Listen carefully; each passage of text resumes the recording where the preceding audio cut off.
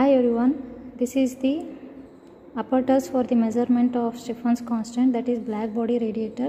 So here uh, first you should uh, connect the voltmeter and ammeter according to the given circuit diagram and then connect the black body radiator and also connect it to the temperature indicator.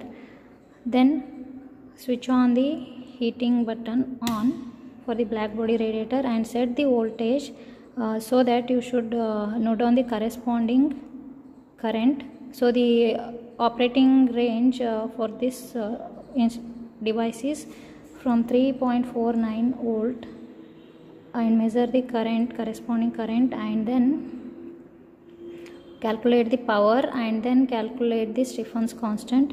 The standard value of the Stefan constant is 5.67 into 10 to the power minus 8. The unit is given here and